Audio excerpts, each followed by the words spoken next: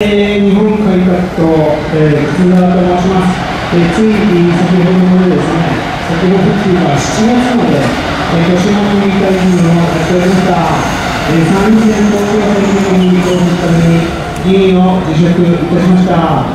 えー我が日本改革党は二次元規制反対ということを訴えさせていただいております。二次元規制っていうのは漫画やアニメ、ゲーム、であるとかの規制をなんとかしようとしている勢力がおりまして、えーこれもあの勢力なんですけれども、実は中国と韓国です。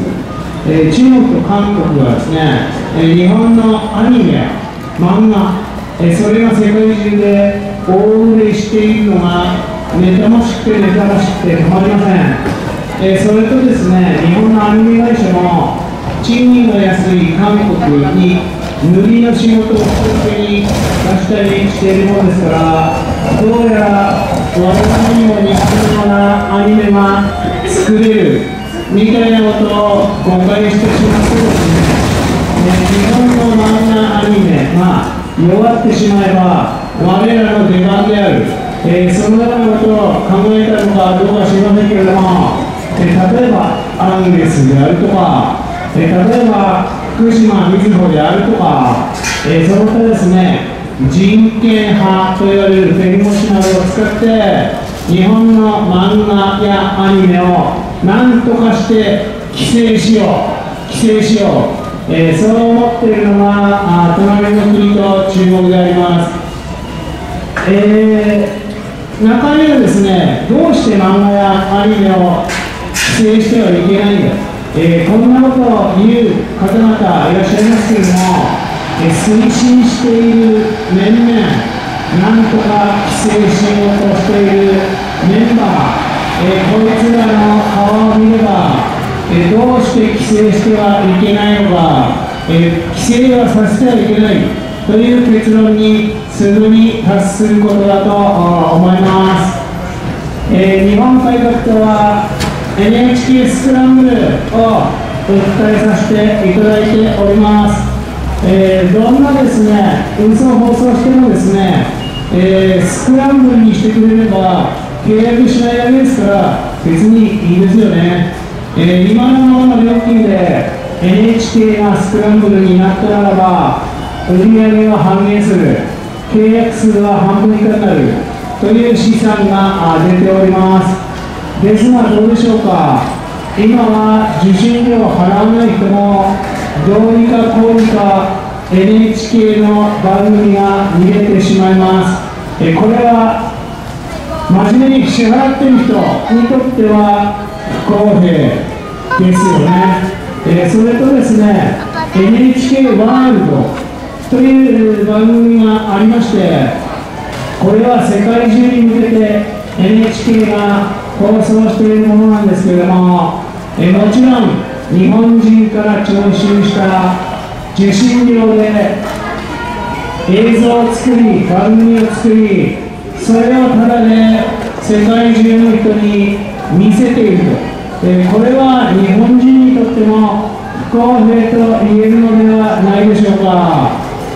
えー NHK は次にネットから金を取ろうなんていうことで、放送法72条を勝手に変えてですね、ネット事業は NHK の正式な事業である、えというふうにしてしまいましたけれども、えインターネットというのは通信であって放送ではないですよね。日本放送協会 NHK がネット正規の事業と言い張るところに無理があります、えーネットにしてですね日本人と同様に世界中の人間が NHK の番組を見れるようになってもなおかつ日本人だけから金を取る気なんでしょうか NHK は。えーそれも不公平だと思われます、えー80%が NHK スクランブルに賛成している。という調査結果が出ましたけれども NHK はかたくなにスクランブル放送にしようといたしません。我々がたまにやっているスクランブルデモもかたくなに報道しようとはいたしません、えー、今までのように受信料でやりたい放題好き放題できなくなるからであります、えー、NHK はですね不公平を推進してるんですよ、えー、どう不公平かと言いますと、えー、放送法15条日本全国津々浦々あまねく NHK の良質な番組を届けることなんて書いてありましてこれを盾にですねいやスクランブルにするとあまねくじゃなくなっちゃうからみたいなことを言ってですね NHK はかたくなにスクランブルにしようといたしません、えー、実はスクランブル今この中間からでも NHK はできます、えー、それはですね未契約者に対して、えー、表示する邪魔表示、え、1時間に15分ほど画面の隅に契約してくださいという表示が現れるんですがそれは表示時間も何も何もかも NHK がスイッチ1つでコントロールしております。あの表示をですねもっとでかくして画面全体を覆うようにして契約してない人はずっとそれを見るようにして映像が見れなくすればスクランブル放送の出来上がりであります。こんなのは明日からでもできることであります、えー、音声を聞こえますけれどもデジタル放送になったんですから明日からでもできるスクランブル放送を NHK はかたくなにやろうといたしません、えー、それともう一つ受信料を払ってない人が受信料を払ってる人のお金で作った映像を見れるというのも不公平ですけれども、えー、視聴時間の問題があると私は思います、えー、会社が忙しくて夜にしか帰ってこない朝早く出るなんていう人は1週間に1時間ぐらいしか NHK 見れてないそんな方もいらっしゃいます。えー、定年後でですね毎日毎日 NHK を朝から晩まで見てます、えー、こういう方ももちろんいらっしゃいます、えー、1日8時間 NHK を見る人と週に1時間も見れない人は同じ受信料っておかしくないでしょうか。私はおかしいと思いますよ。携帯でも何でも使った分だけ払いましょう。これが公平ではありませんか。えー、俺はいっぱいいるぞっていう人でしたらば食い放題食べ放題飲み放題、えー、見放題というプランを新たに作るべきであります、えー、視聴時間など手元の機械で NHK はいくらでもすぐに分かるのですから見た時間だけ、えー、楽しんだ時間だけお金を取ればいいんではないですか。それをですね朝から晩まで見ている人と全く見ない人、えー、こういうですね人同じ料金って無理があるのだと思います、えー、あと私が NHK に文句を言いたいのは態度が悪すぎるということであります、えー、私のところに来た相談でですねお父様が亡くなったのでお父様の契約を解約してほしい。というですね電話を NHK にかけたところ本当に亡くなったんですか、えー、というですね返事をもらい激怒したという方もいらっしゃいます、えー、同様にですねお母様がですね、えー、介護施設に入ると。で家では誰も見なくなる、いなくなる、だから解約してくれ。という電話を NHK にかけたところ、お母さんは介護施設で NHK にいるんでしょ、だったらはい、みたいなことを NHK に言われたというぶち切れた方もいらっしゃいますが、えー、NHK はですね、NHK 職員自身が NHK に専用されておりまして、日本国民全員赤ちゃんから高齢者の方まで全員 NHK に受信料を払うべきである。と考えていると中の人にお聞きしたことがあります、えー、そんなものですからやめたいなんて言うとそういうひどい言葉を投げかけるんだと思います、えー、それとですね引っ越すからもうここにはいないんだ、えー、空き家になっちゃうんだ、えー、言ったところですね NHK はなんと家が建ってる限り受信料払ええー、言ったそうであります。これも昔の話であります。えー、どうして NHK がこんなにも全員現場なんでしょうか？えー、自分のものになるわけでもない、えー、受信料の徴収、なんでこんなに一生懸命なんでしょうか？それは職員が NHK 自身に洗脳されているからであります。NHK は絶対で正義である。絶対正しい、え職員はそう固く信じて仕事をしているから一般の方々にそんなに冷たくできるのであります、えー、外国人実習制度日本改革党はやめるべきであるとチラシの裏にも歌っております、えー、つい最近ですけれどもベトナム人、えー、日越友き協会、えベトナム人のですね、え実習生や留学生を支援する NPO 法人が発表したところによりますと年間5000人失踪している。そうであります。ベトナム人実習生年間5000人失踪しているそうであります。行方がわからなくなっている。えー、その NPO 代表の女性はそういういなくなった方々を我々はもぐらさんと呼んでおります。なんて話しておりましたけれども何がもぐらさんですか、えー、地下に潜ったからもぐらさんとでもいいんでしょうか、えー、地下に潜って不法滞在者になるってことですよね。年間5000人も。年間5000人も不法滞在者が増える、えー、地下に潜った人間が増える日本人としては怖くて仕方がありません今はまだ桃だのみかんだのタケノコだの作物を盗んだり、えー、羊や牛豚を盗んで捕まっておりますけれどもそのうち毎年5000人ずつしかりもった外国人が出てきたらそのうちもっと大きな犯罪をするのは間違いないことであります。え北海道の夕張メロン農家はですね。コロナで外国人が入国できなかった時に外国人実習生が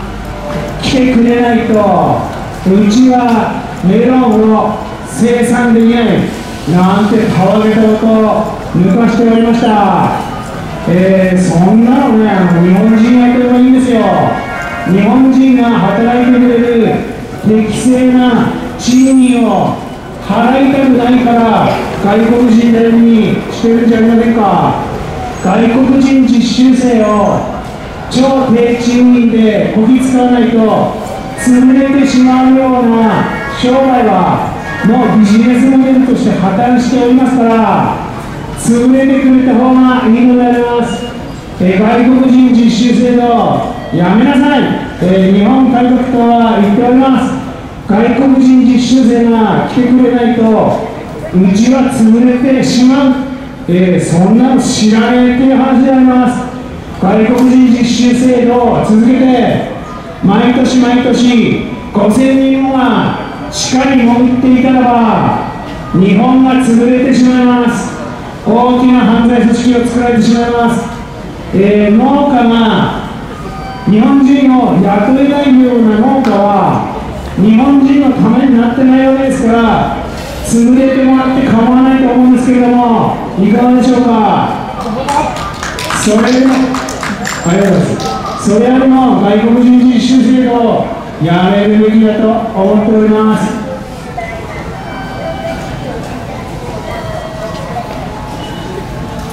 えー、スパイ防止の廃止の日本改革党は訴えております。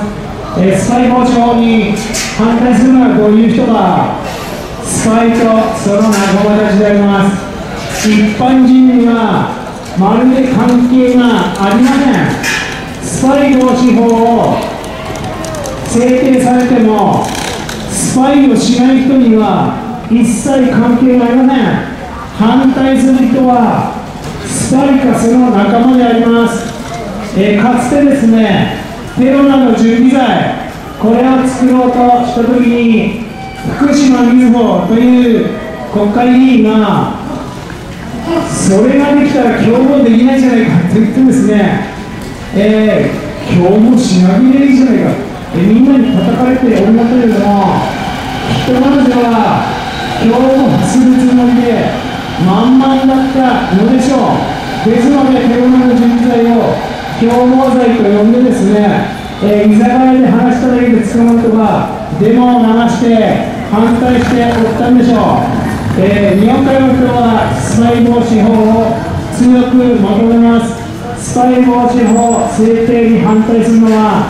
スパイかその仲間たちであります。もしくはこれからスパイをしようがな、え、そういう方がスパイ防止法に反対するんですよ。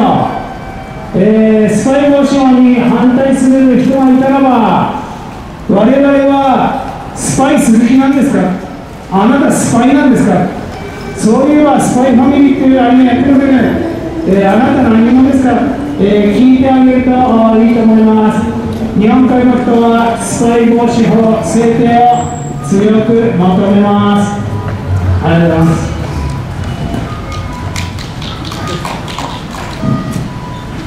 えー、チラシには書いてませんけれども、えー、日本改革党は夫婦別姓大反対しております。理由は戸籍が混乱することであります、えー、横の国はですねいまだに夫婦別姓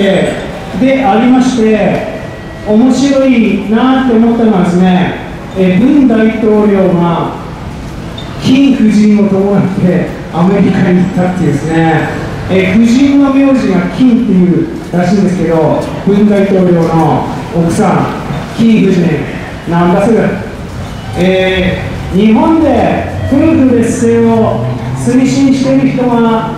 いっぱいいますけれどもなんでねあの横の国みたいな後進国に戻らなくちゃならないですか日本が。わざわざ別姓にしてあとですね性が変わるから私は結婚できないって、え、いうですね。女性の手記なんかがたまに出てきてですね別姓推進派。の根拠になっておりますけれども、えー、そんなねあの名字が変わるのが嫌な人は結婚しなければいいんですよ。結婚する資格がないですよ。夫でも嫁さんの方でもいいですけれども女性が性が変わるのは嫌です。結婚できません。っていうんでしたらば旦那はお嫁さんのお名字になればいいじゃないですか。男はそういう時に優しさを発揮すればいいではないですか。男の方がかたくなに嫁さんの名字になるのはできません。えー、嫁さんの方も夫の名字になれません。じゃあ結婚しなければいいですよ。そんなね事情を抱えた2人がうまくいくはずありません。結婚しなければいいのでます、えー、別姓推進派の狙いは戸籍の混乱と他人の戸籍を乗っ取りやすくすることであります、えー、なりすまし背乗り、羽乗り、いろいろ言われておりますけれども、えー、日本人の戸籍を乗っ取ると、そういう目的で戸籍を混乱させたい、あわよくば戸籍制度を廃止したい、このぐらいを狙って夫婦別姓を推進しているのは推進派の皆様であります。えー、共産党が躍起になって言っておりますが、共産党の目的は日本の破壊と混乱ですからねえー、あの人はですね日本社会が混乱すればするほど困った人が増えれば増えるほど無敵の人が増えれば増えるほど自分たちに仲間が増えて商売繁盛になりいずれ革命を起こせる、え、そのためにはまず日本社会の混乱であるこれを目的に夫婦別姓なんかも推進してるんですよ、えー、鴨上さんっていう方いらっしゃったんですけども、えー、空軍の元大将都知事選にも出た方ですけれどもこの方は夫婦別姓に反対されておりました、えー、うちの家内も鴨上姓になった時は喜んだんですよ。しばらく言っておりました。えー、そういうわけでですね共産党が推進するからではないですけれども、えー、日本改革党は政府別姓に大反対であります、えー、同様にですね共産党が推進するからではないですけれども日本改革党は女系天皇外国人参政権に大反対であります。大体共産党の逆な世界私はこう思ってるんですけれども、えー、確実シンプル。日本の羅針盤逆羅針盤というんでしょうか。共産党と朝日新聞だと考えております、えー、今日は皆様どうもお集まりいただきましてありがとうございましたえー、長々お付き合いいただきまして、えー、誠にありがとうございます、えー、そろそろ時間ですのでちょっとよその団体もやりたいというようなことを、えー、おっしゃってきておりますので、えー、このぐらいで政治活動を終了させていただきたいと思います。えー、お集まりいただきまして本当にありがとうございました。Obrigado.